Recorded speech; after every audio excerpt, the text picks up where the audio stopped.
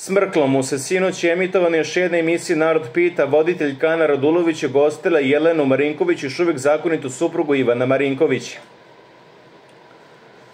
Ivan je teško podno ženinu preljubu još u realitiju najavio hitan razvod braka i Jelena je napustila njegov stan na ovom Beogradu kojem su nekoliko godina živeli. Šta ti je mama rekla za sve ono što je izrečeno za nju, pitala je An.